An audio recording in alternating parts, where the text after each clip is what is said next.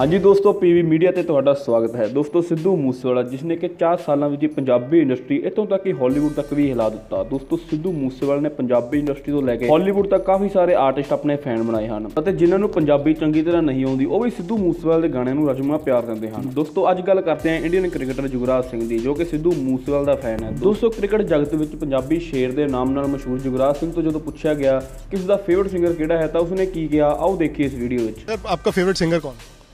Favourite singer